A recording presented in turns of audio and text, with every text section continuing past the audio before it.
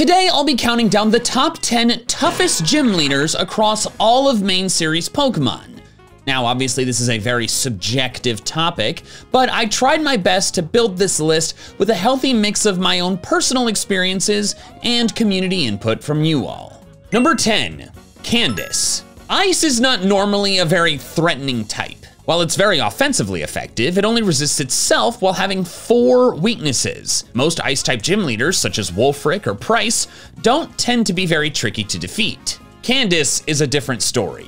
This is her team in Diamond and Pearl, and it's very similar in the remakes. The three actual ice types aren't much of a problem since they have four times weaknesses and Infernape can deal with by itself. But the Medicham can be tricky with pure power doubling its attack, and if you let it set up some bulk ups, you could have some serious issues. But what got me to put Candace on this list is not her Diamond and Pearl team or her BDSP team, which is the same Pokemon but with better move sets and items.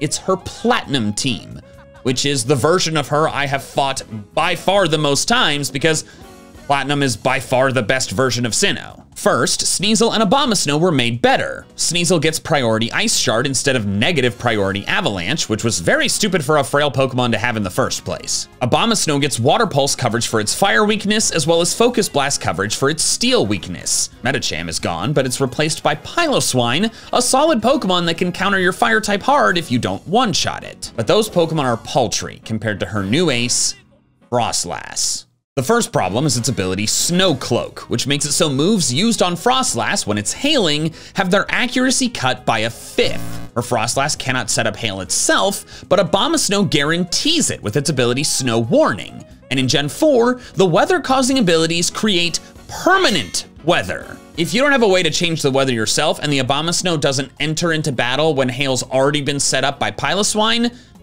then that hail's gonna be there for the rest of the battle. This permanent hail not only chips away at your Pokemon and makes Froslass harder to hit, but it makes its powerful Blizzard always hit. Then, as an insult to injury, Froslass has Double Team, a move that I believe should be removed from the game alongside Minimize because it's such scummy garbage. Double Team boosts its evasion in addition to the Snow Cloak boost, meaning if it's hailing and Froslass has used just one Double Team, a 100% accurate move will only hit 60% of the time. If it's two Double Teams, it's down to 48%. I make a lot of jokes about how if a move isn't 100% accurate, it's 50% accurate. When you're fighting this Froslass, if a move is 100% accurate, it's 50% accurate. Even if you get a very specially bulky Pokemon to tank hits while you hope to land some, Froslass's Shadow Ball and Psychic have significant chances to lower your special defense. Because of my age and the fact that I've been playing Pokemon for over 20 years,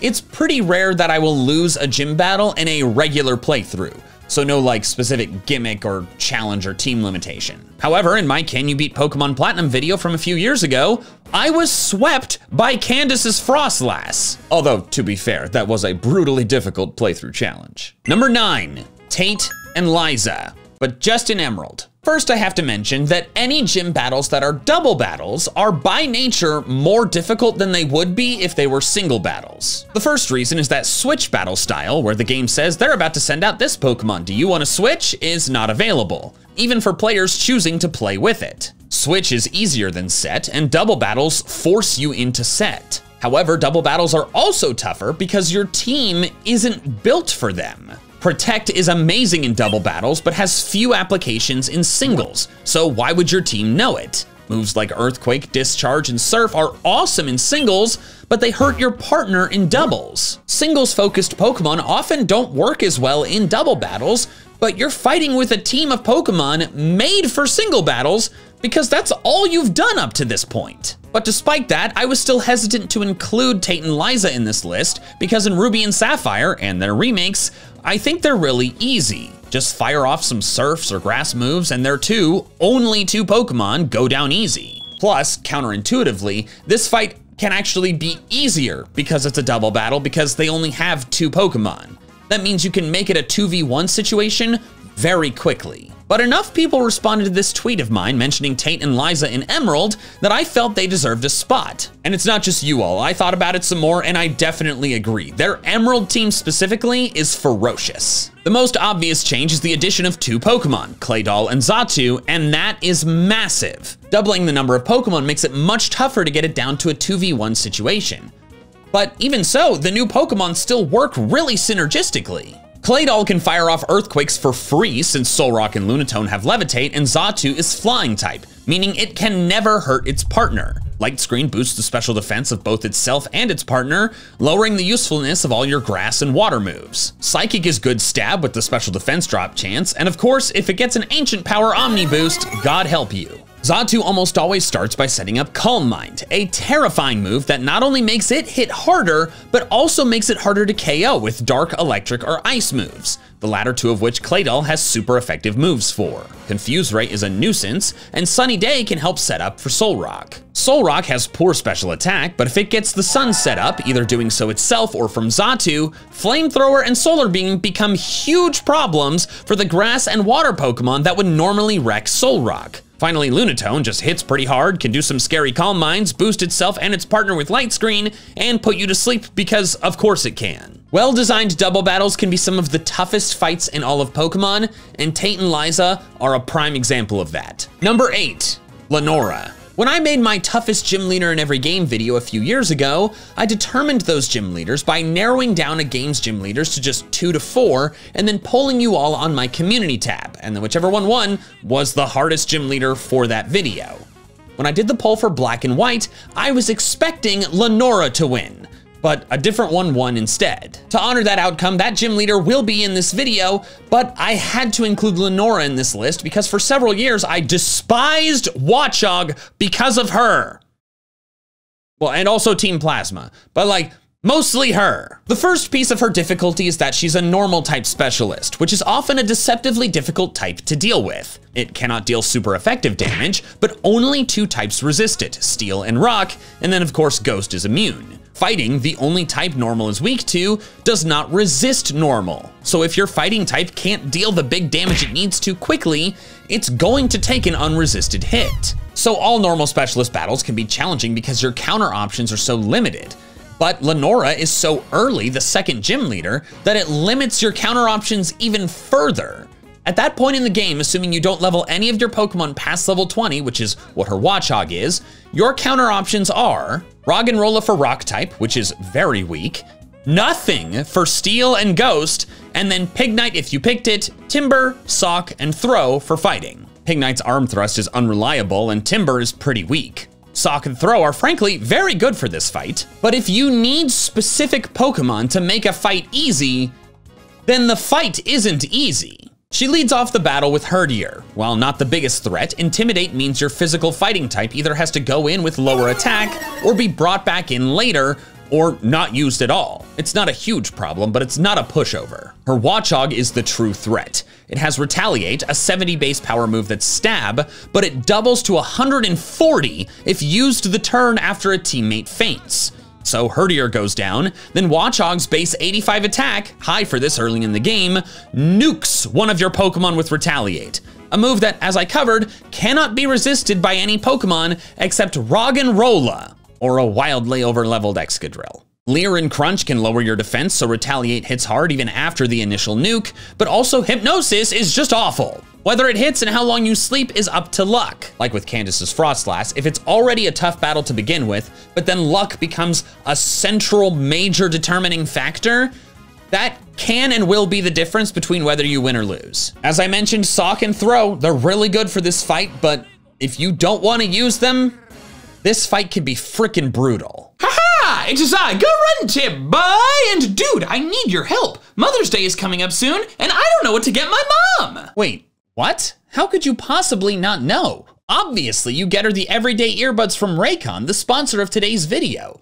With audio quality rivaling far more expensive brands, they're my go-to gift for anyone. Right, but 8 hours of playtime and a 32 hour battery life are incredible. And with the easy to use earbud tap functions, I can pause or go to the next song without fumbling for my phone. Also, being able to swap between noise isolation and awareness mode is great depending on where I'm listening. I am aware, however, I just can't understand how you couldn't have thought of this. My mom and I use our Raycons to talk on the phone with each other all the time, especially on walks, letting us keep in touch even though we're not in the same city. They're perfect for a Mother's Day gift, and I just cannot fathom how you didn't think of Raycons. because I got them for her last year. She loves them. I don't know how I'm gonna top it. Oh. Okay, that that makes more sense. Um well, if our lovely viewers didn't do that, they can get 20% off their Raycon purchase plus free shipping at buyraycon.com slash mandjtv, linked in the description below. Great, you've helped all of them, but now what about me? um, coupon book for free hugs? Are you serious? I why did I even come here? Ta-ta! Number seven, Elesa. Elesa was the toughest gym leader in Unova as voted by you all several years ago, and the main reason for that is her stupid Emolgas. Electric only has one weakness and it's to ground, but Emolga is immune to ground thanks to being flying, instead only being weak to rock and ice. Ice moves are extremely difficult to come by at this point in the game, so really your only super effective option for Emolga is rock. Now if these Emolga had electric attacks like Spark or Shockwave, they wouldn't be too bad. However, they, along with her Zebstrika, have Volt Switch, which allows them to hit you, then switch out so your attack hits something else. Go for a rock move on Emolga, it Volt Switches first, then brings in Zebstrika, who is not weak to rock. Go for a ground move on Zebstrika, Volt Switch into Emolga, and no damage happens. It then becomes a game of prediction, which at times can be trickier with an NPC gym leader than it is with a real person. Because sometimes the gym leaders don't go for the most optimal play randomly. And you're like, I thought you were gonna volt switch there and you didn't, what the hell? Now, of course, you can stop the volt switches using a ground type, but you won't hit very hard with rock moves since no rock ground types are available in a black-white Unova playthrough. Additionally, a ground type will not resist Emolga's aerial aces, another stab attack that's nothing to scoff at. Her black 2 white 2 team is easier, with one Emolga becoming a less threatening Flaaffy and the other losing aerial ace. But that should tell you something. Elesa was such a problem in black and white that they had to nerf her in the sequel. Number 6. Raihan. Remember how I said that double battle gym battles are trickier than singles because your team isn't built for it? And I also talked about how the synergistic construction of Tate and Liza's Emerald team makes them exceptionally challenging. Well, what if there was another double battle gym battle? That was the last one. And so it went even harder with synergistic double battle strategies. There is, and it's Raihan. Raihan has a Sandstorm team that is not as well built as a competitive player's, but it's a darn good team. He leads with Flygon and Sandstream Gigalith, instantly setting up a Sandstorm that will chip away at most of your Pokemon, and none of his, while also boosting the special defense of Gigalith. A Water type won't like Flygon's Thunder Punch, and an Ice type would decimate Flygon but it has Steel Wing and Gigalith has Body Press, which can do massive damage due to Gigalith's base 130 defense. Flygon also has Breaking Swipe, a move that hits both of your Pokemon and is guaranteed to lower their physical attack, making it even harder to get good damage out with any non-fairy physical attackers. Now his Gigalith is not holding a Smooth Rock, which extends the duration of Summoned Sandstorm from 5 to 8 turns. So you might be thinking, oh, I could just stall the Sandstorm out.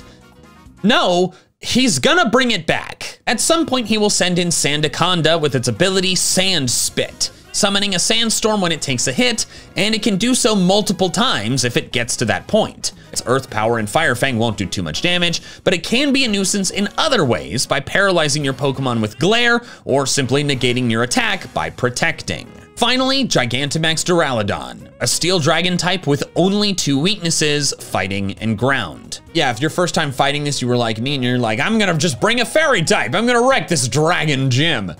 Uh, uh, you won't, you don't. Uh, you can only deal with Flygon, and that has freaking Steel Wing. Fighting and ground moves are normally physical, which means that they have to get through Duraludon's high defense, but your attack might have been dropped by Flygon's breaking swipe. Duraludon's max move set is nasty too. G-Max Depletion can cut away at your precious PP, Max Rockfall can set up Sandstorm again, Max Steel Spike can make both enemies even harder to KO with physical moves by boosting their defense, and Max Knuckle boosts Duraludon and its allies' attack even further. If you're not careful, Raihan can boost his Pokemon to a point of no return. And remember, assuming you don't bring a weather-changing power of your own, you're gonna be taking Sandstorm chip damage on all of your non-Rock Ground Steel Pokemon, most if not all of the battle. If you don't come out of the gate swinging hard with big hits, you could definitely lose. Now that we've reached the halfway point, I would like to quickly ask you a favor. Uh, check if you're subscribed. A lot of my viewers are not subscribed, and I think that's because a lot of you think you're subscribed, because YouTube's algorithm is pretty good at showing you when I have a new video that's out. So if you're a fan of mine, you've watched this far into the video, and you're not subscribed, I'd really appreciate it. It helps me out. So just check if you are, pretty please. Number five, Fantina. This is an aside, but every time I think about Fantina, I think about this clip from my Team Sky Platinum playthrough. Hello, Fantina! You are standing in the way of Team Sky's glorious victory, so you and your opulent dress must fall! No, wait, no, that sounds like a, no, wait, hold on. Ghost is not an easy type to deal with. It has two immunities, more than any other type, and only two weaknesses. However, one of those weaknesses is itself, meaning using Ghost against Ghost is very risky. Without a Dark type, it can be tough to deal with any Ghost specialist. Fantina is exceptional though, thanks to how strong her Pokemon are. In Diamond and Pearl, when she's the fifth gym leader, all three of her Pokemon are high based at total Pokemon. Drifblim is super tanky and can infuriatingly boost its evasion with Minimize. Plus, an Ominous Wind Omni Boost is always possible. Gengar uses its inferior physical attack, thankfully, because it would be absolutely brutal if it used its special attack, like Mismagius does. Hitting fast and hard with special attack that's over 100, Mismagius can output severe damage. But then we go to Platinum, where Fantina changes from being the fifth gym leader to the third and that makes her a lot more difficult. While Drifblim and Gengar are replaced by weaker Pokemon, Mismagius remains the same. This is terrifying, since at this point in the game, you'll have fewer team options and less evolved Pokemon to deal with a powerful base 495 stat total Pokemon. And don't discount the others. Duskull's Will-O-Wisp Burns can ruin your hopes to use Bite or Crunch, and Haunter's Confuse Ray and Hypnosis can wreak havoc and turn the battle south if your luck is bad. And then there's her BDSP team, which is weird. Drifblim and Gengar get better, but then Mismagius loses Shadow Ball in favor of having a much weaker Phantom Force? I don't get it. Platinum is overall still the toughest version of her though, and that matters the most because that is the de facto version of Sinnoh. Number four, Norman. Norman is the only gym leader to have a Pokemon with a base stat total that's the same as Groudon.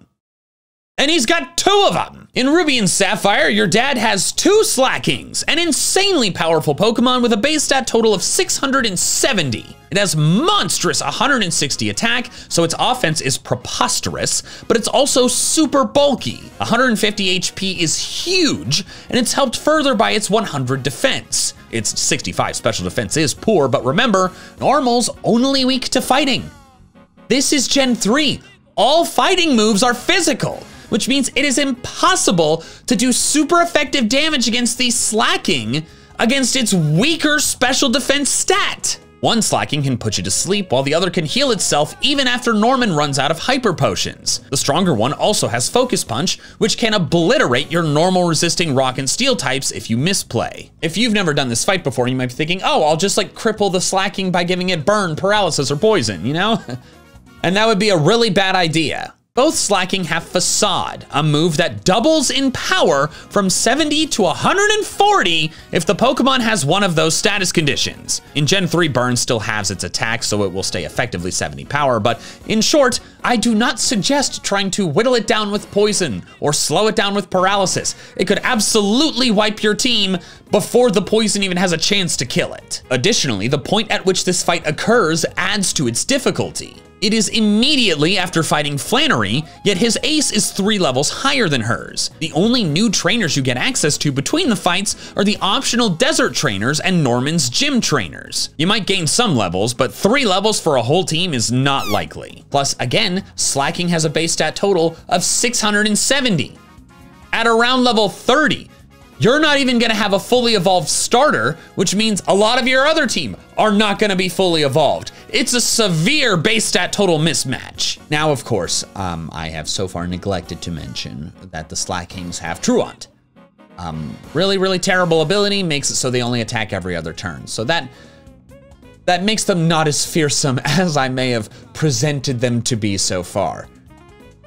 But that's freaking necessary. Truant takes this fight from impossible to just difficult. In Omega Ruby Alpha Sapphire, his team is similar, albeit his main move is Retaliate instead of Facade, which is both better and worse. You can freely status condition the Pokemon now, but two of his three Pokemon get a free 140 power nuke on you the turn after you KO another Pokemon. In Emerald, he's down to only one Slaking, and I do think that overall makes this battle easier than in the other games. You have to be careful though, because Belly Drum Linoone can single-handedly lose you this battle. It maxes its attack, he hyper potions up any health it lost, then with its high base 100 speed, it can absolutely sweep your entire team. I, uh, unfortunately, speak from experience.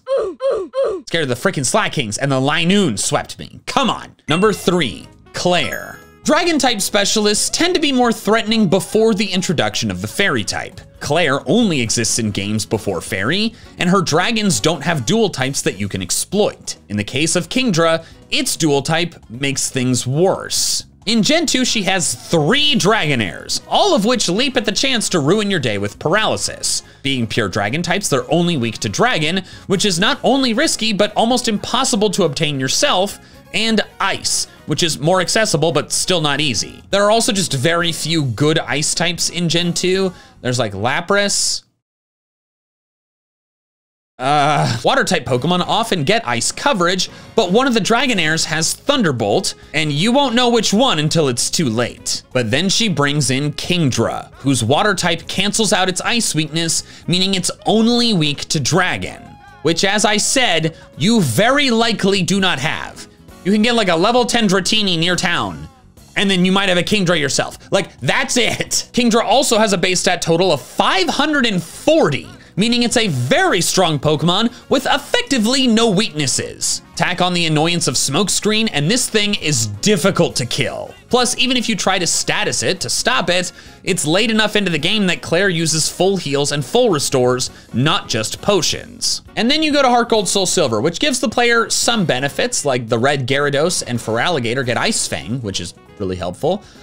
But Claire also gets tougher. One Dragonair is gone, replaced by Gyarados, which is easy to dispatch if you have an electric move, and a terrifying threat if you don't. The Dragonairs have better move sets, still with Thunder Wave of course, but then Kingdra has been significantly buffed. A Sitrus Berry heals it, its Dragon Breath is now the stronger Dragon Pulse, and instead of Surf, it has Hydro Pump, which can miss, but if it doesn't, it is nuking anything that doesn't resist it. Plus, Johto has some weird level curves, so you might be underleveled going into the fight, which makes it even more impressive if you can pull out the win.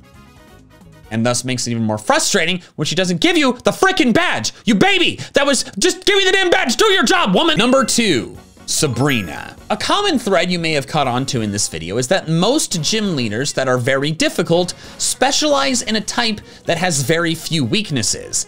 And a lot of times, one of those weaknesses is to itself, which makes it risky. Normal is only weak to fighting. Electric is only weak to ground. Ghost is only weak to itself and dark, and Dragon, before Gen 6, is only weak to ice and itself. But Sabrina is the first gym leader on this list where most of her team has no weaknesses. I'll try to keep my explanation for why the Psychic type was overpowered in Gen 1 as brief as I can, because I've talked about it several times, and so have other creators, but it basically boils down to four main reasons. Number one, special attack and special defense were one stat, meaning Psychic type Pokemon excelled in both. Number two, the only type to resist Psychic was Psychic. Number three, poison types were everywhere. And four, Psychic had no real weaknesses. The Dark type did not exist. Due to a glitch, Psychic was immune to Ghost instead of weak to it, and the only bug type attacks were Leech Life, Pin Missile, and Twin Needle, which are not only terribly weak, but also learned by almost no Pokemon. The only Pokemon to get Twin Needle is freaking Beedrill which is not only just a weak Pokemon in general, but also it's poison type and weak to psychic. So of course a specialist in an overpowered type is gonna be a tough gym leader to deal with no matter what. But in all the Gen 1 games, she uses Alakazam, the best non-Mewtwo psychic type in the game. It is insanely fast and hits like a truck on the special side, even more so in yellow due to using psychic instead of Psybeam. And as I mentioned, the only type to resist its psychic attacks is another psychic Pokemon. If you don't come prepared with a strong physical attacker to take advantage of Alakazam's low physical defense, and it has to be one that's fast like Tauros or takes hits well like Snorlax, you could absolutely just get wrecked. By Gen 3, Psychic had been nerfed by the addition of the Dark type, it being weak to Ghost, and decent bug moves becoming at least somewhat available. However, in Kanto specifically, it's still the best type in the game. There are dark type moves like Bite or Feint Attack, but no dark type Pokemon in Kanto. The only ghost type is Gengar, who is weak to Psychic, and in Gen 3 uses its poor physical attack for its ghost moves. And the only decent bug Pokemon, Scyther and Pinsir, still get screwed with bug type moves. Scyther doesn't get Fury Cutter until 46 above when you'd fight Sabrina, and Pinsir doesn't get any bug moves at all. Sometimes I think like, wow, the jump from Gen 2 to 3 might be the biggest between generations jump in all of Pokemon. Like the graphics, the addition of abilities and natures, and just so much was added. And then I look at some Pokemon's level up move sets and they like don't get any stab moves, and I'm like, were they brain dead? And even though now you have the option to crunch your way to success, I still think her Fire Red Leaf Green team is the strongest version of Sabrina because of the move Calm Mind. With just one Calm Mind, Alakazam now hits 50% harder with the best Psychic move Psychic, and it now takes less damage from Dark moves, which are all special in Gen 3. If you misplay and let it get too boosted, it can absolutely sweep you. Sabrina is extremely fearsome and can hand you a bad loss if you don't go in prepared. At least up until Let's Go, where they made her stink. Alakazam now only knows Psychic and Nightshade? They made it worse in the only Kanto game where you can actually get Dark types? I just, what, what is this, a game for babies?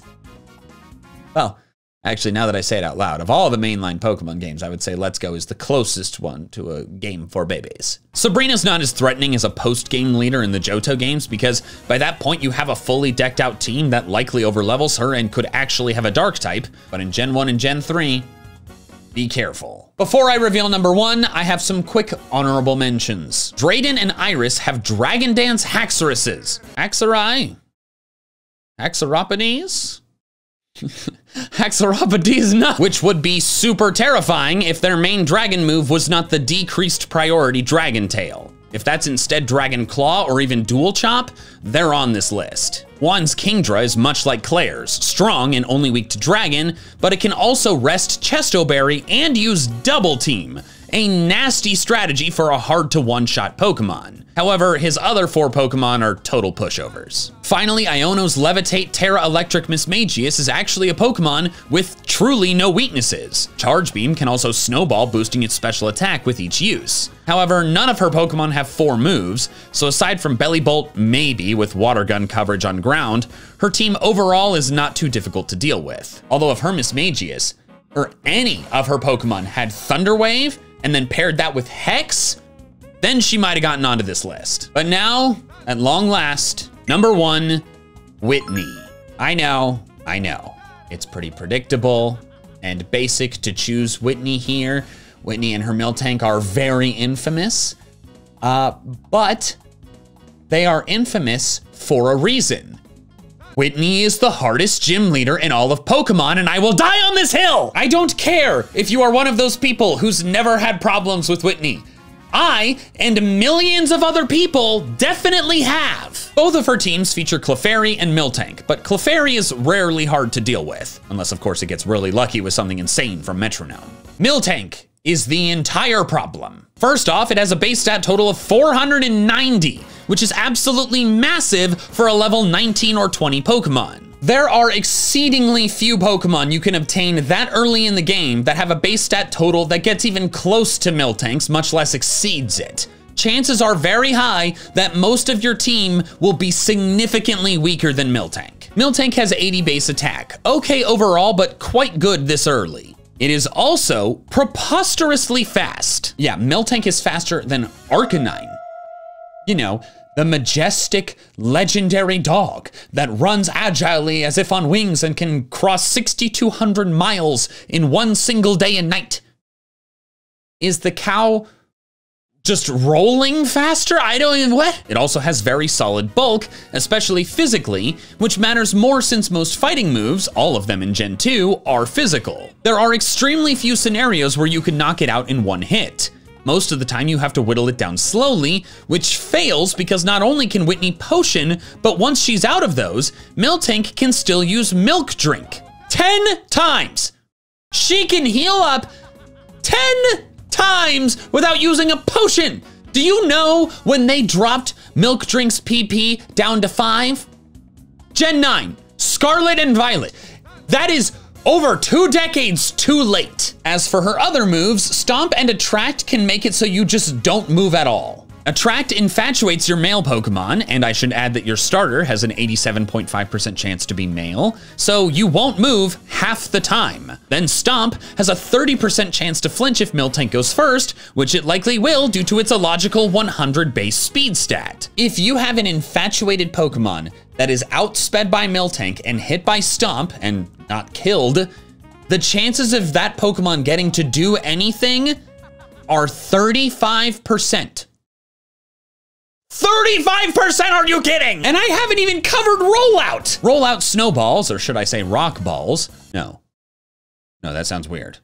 Uh, it, it, doubles in power every turn, eventually reaching powers of 160 and 320 on the fourth and fifth hits. If it gets to that point, resistances mean nothing. You just have to pray it misses. Her Gen 4 Miltank is one level lower than her Gen 2 one, but it received two buffs in exchange. The first is the ability Scrappy, allowing it to hit ghost types with normal moves. So if you wanted to cheese your way through this battle with a Gastly, uh, you can't. Additionally, it now holds a Lum Berry, which can one time heal any status condition that you give it, like paralysis to slow it down, poison to whittle it away, or burn to half its offense. That is an insanely good item to give a Pokemon that is under level 20. Now, obviously, there are ways around Whitney. If there were not, the game would not be beatable. Onix does well tanking the hits since it resists all her moves and has high defense. The in-game trade Muscle the Machop does well because it's a female and can't be attracted, and is also a fighting type. But even with that Machop, it still fainted during my only Gen 2 battle with her. So yes, there are available counters, but that further proves her difficulty.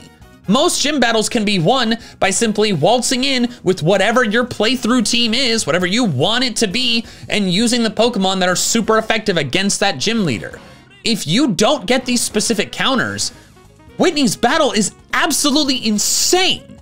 And if a battle is near insurmountable without specifically designed counters, then it's an extremely hard battle. If Whitney was a later gym leader, she likely would not top this list because you would have better Pokemon to fight her. But with such a strong Pokemon that early, it makes her the toughest gym leader in all of Pokemon and makes her my least favorite and also Miltank my least favorite Pokemon. And also, her and Clair both, the two strongest gym leaders in Johto, throw tantrums when you beat them. Whitney cries?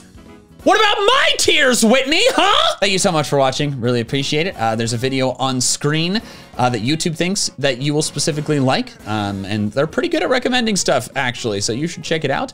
Um, subscribe if you haven't. And that's all I have for now. So until next time, big fans, gotta catch them all.